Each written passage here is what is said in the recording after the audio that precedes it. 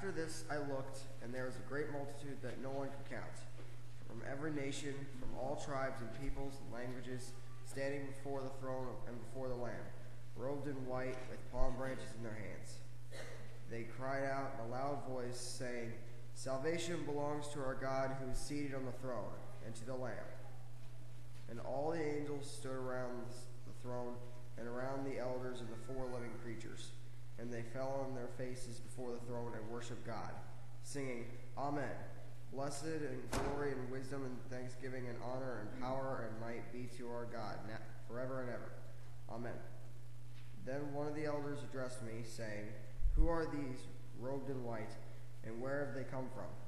I said to him, Sir, you are the one that knows. Then he said to me, These are they who have come out of the great ordeal. They have washed their robes and made them white in the blood of the Lamb. For this reason, they are before the throne of God, and worship him today, worship him day and night within his temple. And the one who is seated on the throne will shelter them. They will hunger no more and thirst no more. The sun will not strike them, nor any scorching heat. For the Lamb at the center of the throne will be their shepherd, and he will guide them to the springs of the water of life, and God will wipe away every tear from their eyes. Here the second lesson.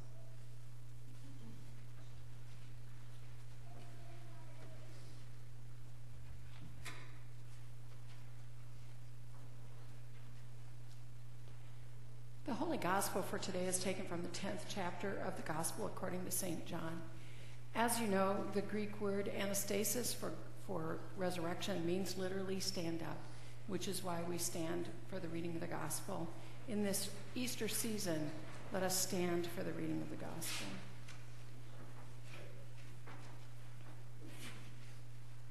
At that time, the festival of the dedication took place in Jerusalem. It was winter, and Jesus was walking in the temple in the portico of Solomon. So the Jews gathered around him and said to him, How long will you keep us in suspense? If you are the Messiah, tell us plainly. Jesus answered, I have told you, and you do not believe. The works that I do in my Father's name testify to me, but you do not believe because you do not belong to my sheep. My sheep hear my voice, I know them, and they follow me. I give them eternal life, and they will never perish. No one will snatch them out of my hand. What my Father has given me is greater than all of these, and no one can snatch it out of the Father's hand. The Father and I are one. The word of the Lord. Thanks be. Please be seated.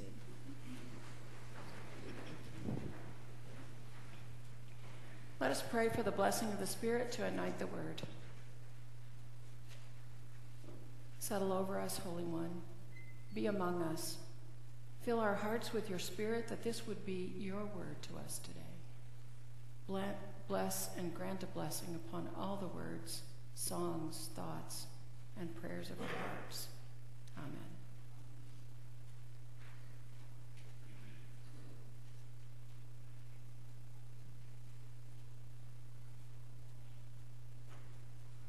In the popular movie Legally Blonde, Elle Woods, played by the beautiful Reese Witherspoon, is, um, has gone to Harvard Law School to pursue her man. He left her for something else. And prior to going off to Harvard, she never really thought of herself as anything but beautiful, popular, and up for the good life. But when she gets to Harvard, she's not well liked there. People don't understand her. She's very different than everyone else. And they sort of shun her and mistreat her. And early in the movie, they invite her to a party, but because they don't like her, they tell her it's a dress up party, a costume party. So she gets to the party, and everyone there is dressed in regular clothes, and she's dressed as a Playboy bunny. A little bit embarrassing. There are situations in which it matters how you dress or what you wear. In the text from the book of Revelation today, we learn just this very thing. First of all, I want to tell you that there's no S on the end of Revelation. It's, that's because the whole entire book is considered to be one unified witness to the Christ. And also, it wasn't written by John the Apostle, just for those of you who like to know these kinds of things. The language and the theology doesn't work for that. Theologians today recognize it was written by John of Patmos, which is a way of saying we don't know anything more about this particular John than that he was exiled to the island of Patmos. But John of Patmos tells us this those who were being saved, the saints, that is little s, were standing in front of the throne, before the throne and before the Lamb, and they were robed in white, and they were carrying palm branches. Now, that's actually a very important thing to say, very important clue. Because the truth is, you cannot stand before the powerful throne of God unless you are robed in this white robe. And that white robe is a signification that you are righteous enough to be in the presence of God. And there's only one way to get there. That robe is connected to your baptism, but it means that it has been washed in the blood of the Lamb.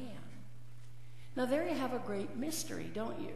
If you're like me, every garment that you've ever seen that got touched by blood never really was completely white and pure again. And, and even if it looks pure to the naked eye, you put it under a microscope and you can find that those particles of blood are still in the garment. I learned that from NCIS.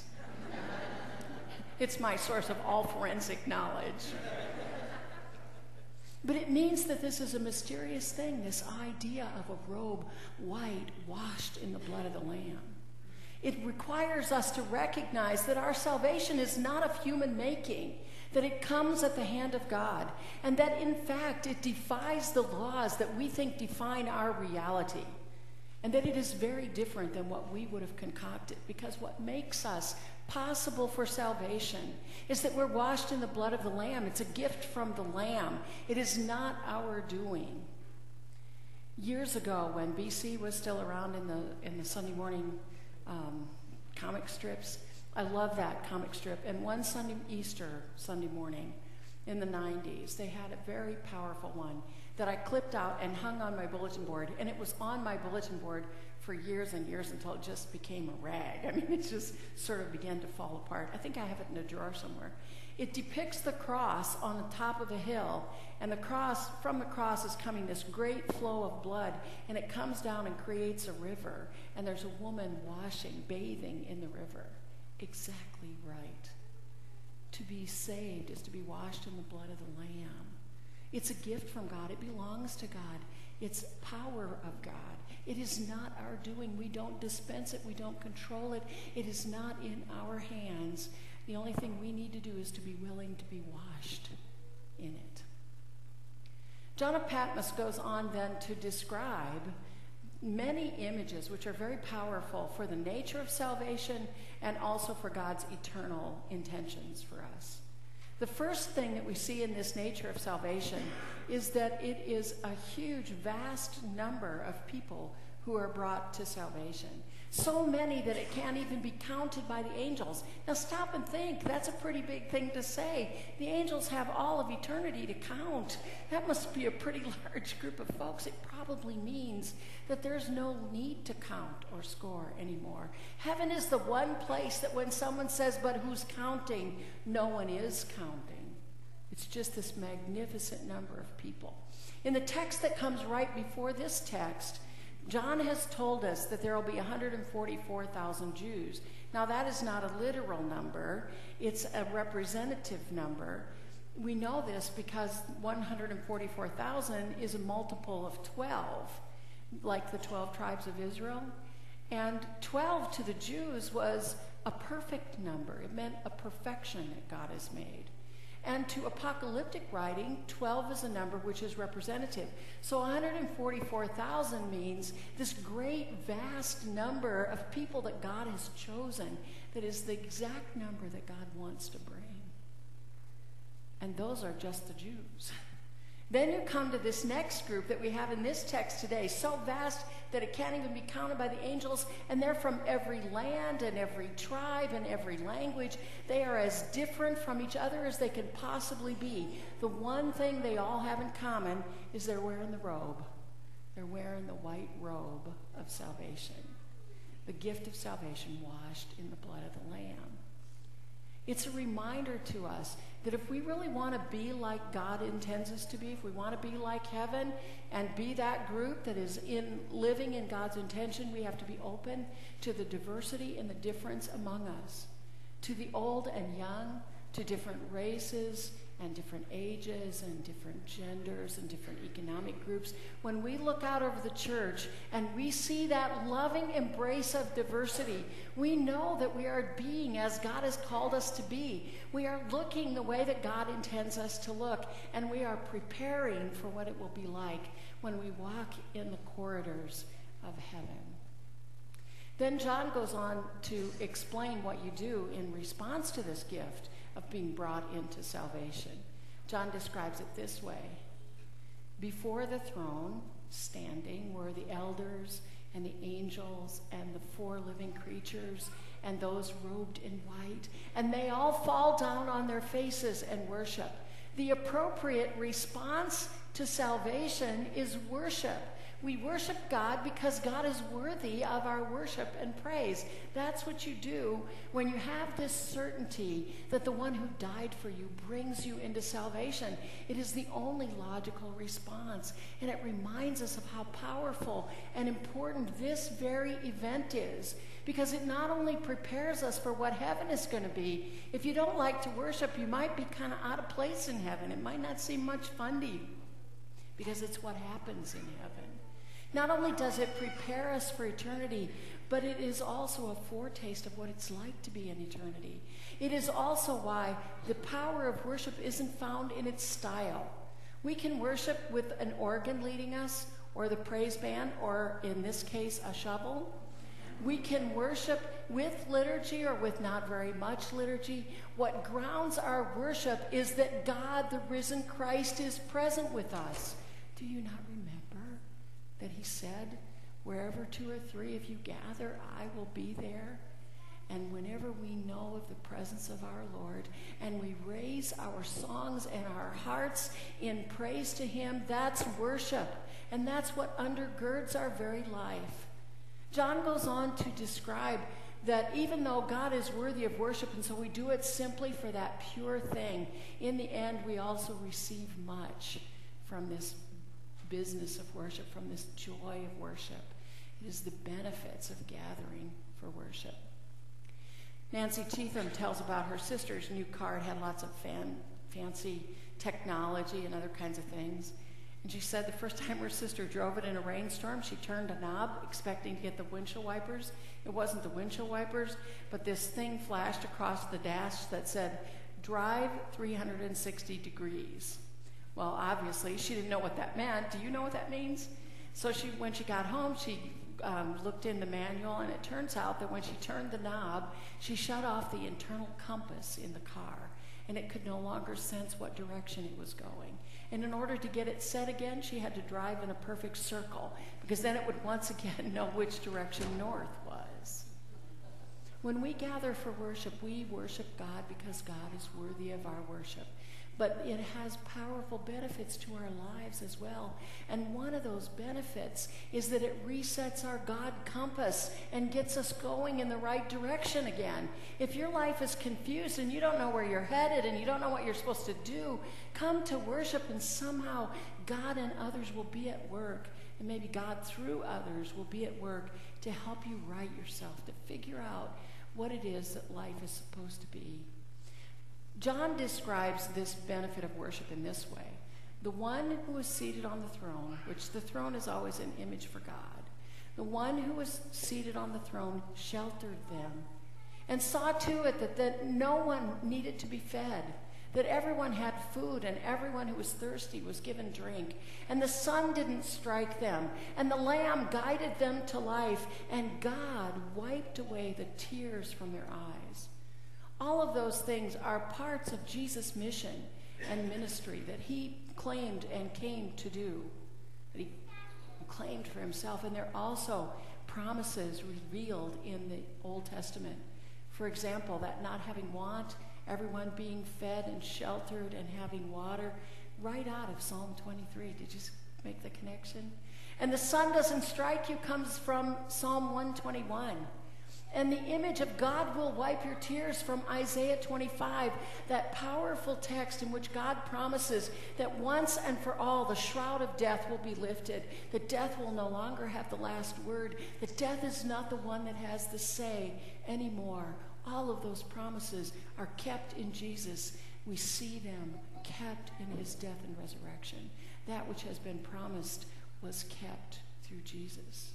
And whenever you come here, you have the benefit of knowing that and being encouraged to live in it and to believe it. So that it turns out that when you come to worship, three powerful things are happening.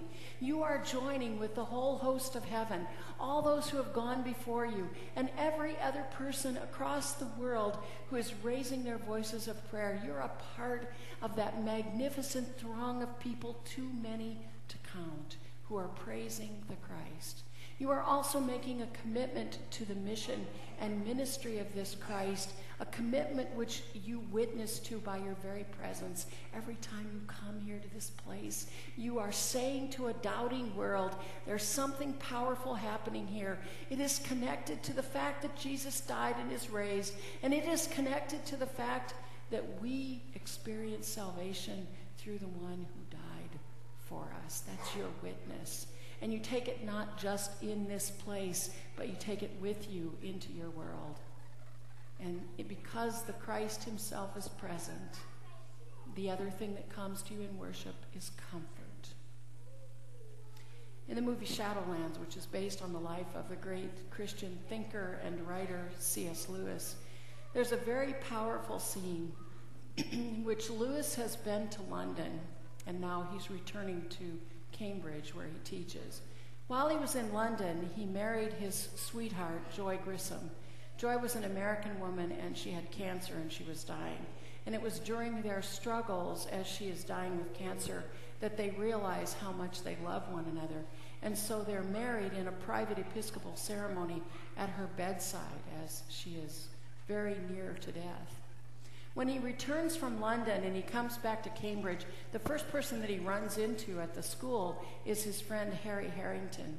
Harrington is an Episcopal priest, and he knows the situation that um, C.S. Lewis has been in with Joy, and so he asks him, What news do you have? And C.S. Lewis hesitates for a moment, then he decides to talk about the wedding instead of about Joy's upcoming death. And so he says, It's good news, Harry, good news. But Harry didn't know about the wedding, he only knew about the illness. So he assumed that C.S. Lewis was saying that Joy was better. And he says to him, I know how hard you've been praying about this, and now God is answering your prayers. And Lewis says, Harry, that's not why I pray. I pray because I need to. I pray because I need help. I pray because my need for help flows out of me night and day when I'm sleeping and when I'm awake. I pray because I need God's help. It doesn't change God, it changes me. To come into the presence of the living Christ on any time that we gather is always the blessing of comfort because you are connecting with the one who is life, who brings life, who loves you with life. And finally, the text tells us that we have something to do. It is when we give our lives and entrust everything that we have and everything that we are to the Lord, then everything that we do becomes part of the work and mission and ministry of the Lord. When we let Jesus' ministry be our point in life and be a part of everything that we do, it becomes the purpose of our occupation and the occupation of our purpose. And it changes our reason for living.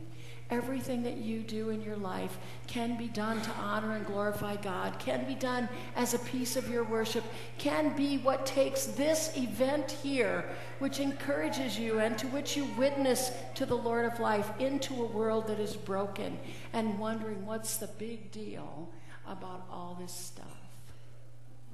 So it turns out that there are times when it matters what you wear, and I don't mean this stuff jeans or dress clothes or nice sweaters or nice scarves.